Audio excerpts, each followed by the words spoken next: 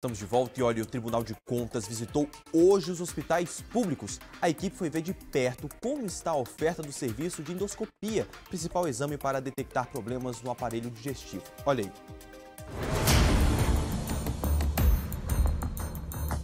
Imagina uma fila de 5 mil pessoas, esperando por dois anos.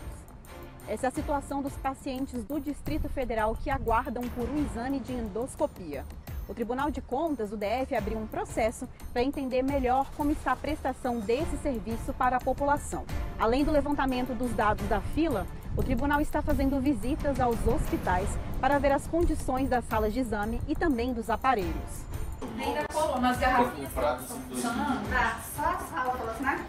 A visita aqui no hospital de base constatou, por exemplo, uma situação grave. A equipe só tem disponível um tubo para fazer a endoscopia e pior, acaba lavando essa peça com produtos químicos errados. Esses produtos têm causado até irritação e alergia nos pacientes.